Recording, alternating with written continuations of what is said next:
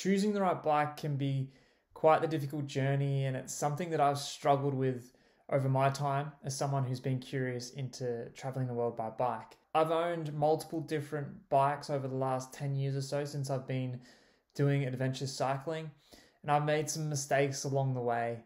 Like using a road bike, for example, to attempt to ride across Australia that led me go on a trip and fail within a couple of days because the bike just was not suited for that adventure at all. Then I spent a few more thousand dollars on some other bikes and realized that those bikes just weren't up to scratch for the kind of adventures that I want to go on. And I made many mistakes and I've also spent a lot of time on the blog at cycletraveloverload.com comparing bikes. A lot of you guys are interested in trying to figure out what bike is best for you. And that blog has allowed a space for me to provide value by comparing individual bike models side by side so you guys can get a better idea at what bike is best. And it's been serving the community tremendously. I've done some of those articles and made some videos but it's quite an extensive workload to be able to add value in that way. And I was thinking, what's the most scalable way for me to provide value to you guys? And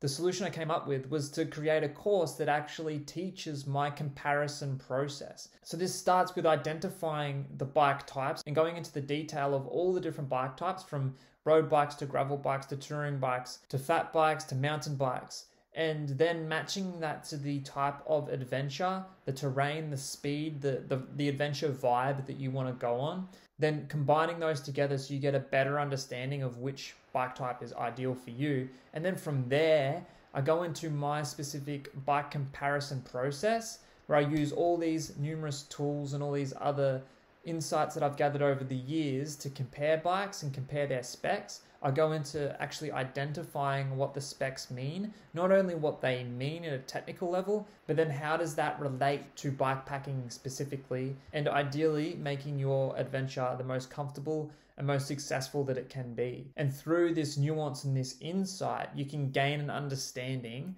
as to which bike is best for you along that comparison journey. And this course is built just for that, to make this journey easier for you because it can be really complex. I've spent years amongst the messy complexity, frustration of the bike buying journey, specifically for adventure bikes, because it's such a niche and specific kind of bike that you're looking for. It can be quite a stressful situation if you're not that quite versed in all the lingo and all the specifics when it comes to adventure cycling bikepacking and bicycle touring and, and the bikes that are most ideal for those kind of adventures. So this course is around two hours long and I have some extra add-ons and bonuses in there as well with the bike comparison tool that I use, along with some other downloadables and other information there. With that, you get discounts on big bike brands. At the moment of filming this, it's just Old Man Mountain at the moment that are generously offering a 10% discount on all their gear if you use the code that's included when purchasing the course.